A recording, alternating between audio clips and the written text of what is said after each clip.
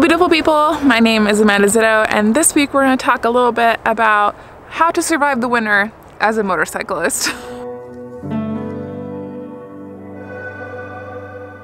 These things are probably a little bit less relevant for people who live in some southern states or countries where your riding season is year round.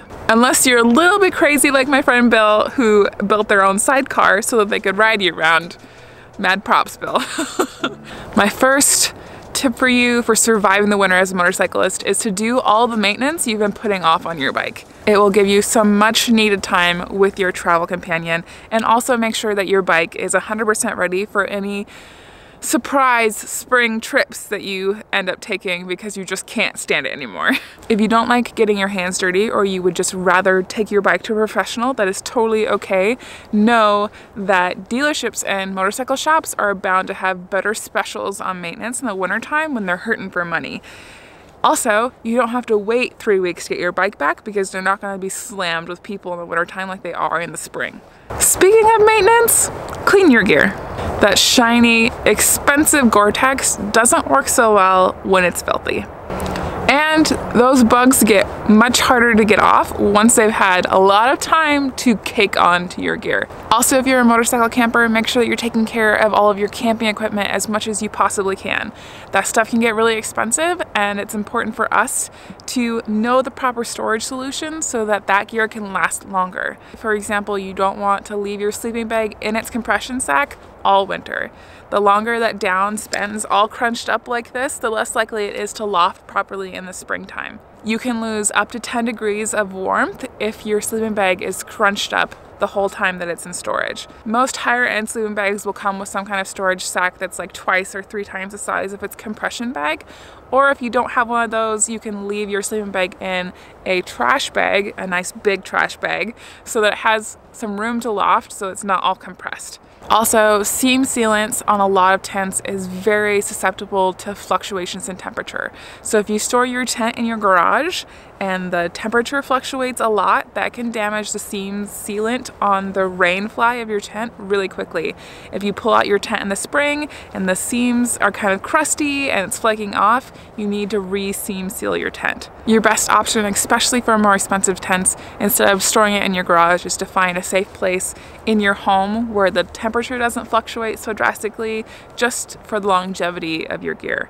Since most of us have a little bit extra free time in the wintertime, since we're not riding and traveling, it's also a great time to organize all of your gear while you're doing this kind of maintenance so that you know where everything is that way it's easier to grab and easier to pack in the spring. A great thing to do while you're doing all this maintenance on the gear is to live vicariously through other people's experiences. Motorcycle books are my favorite and the most immersive in my opinion. Audiobooks especially are great because you can do other things while you're listening to the book. There's also lots and lots of amazing motorcycle films that you can watch while you do that maintenance on your gear, but also just to live vicariously through other people until you can get out riding again.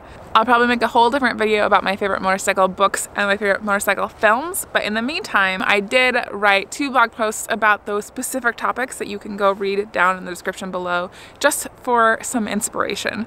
Last but not least, this is an excellent time to be planning future adventures.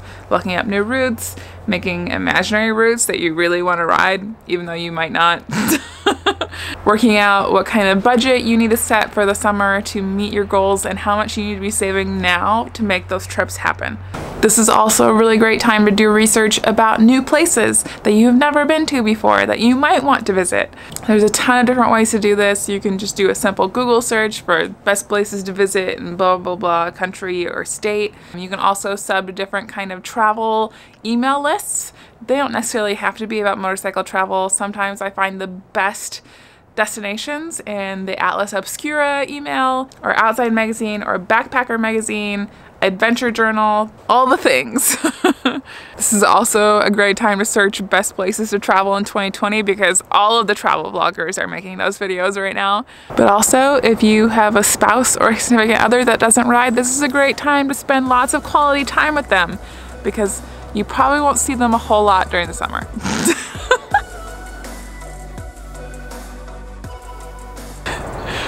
all I've got for you today, guys. I hope that you enjoyed this little video. I want to give a huge, huge shout out to my supporters on Patreon who make these videos possible. For as little as $1 a month, you can get early access to videos like these over on my Patreon account, linked down in the description. If that's not up your alley, that is totally okay. You can get me a gallon of gas over on my Ko-Fi account, get me a little bit closer to my future travel goals. If that's not up your alley, I do have an Etsy and a Redbubble shop where you can get stickers, prints, t-shirts, all the good things with my motorcycle art on them. And if that's not up your alley either, that is totally okay. I appreciate you just for being here, and I will see you guys later. Let's keep moving.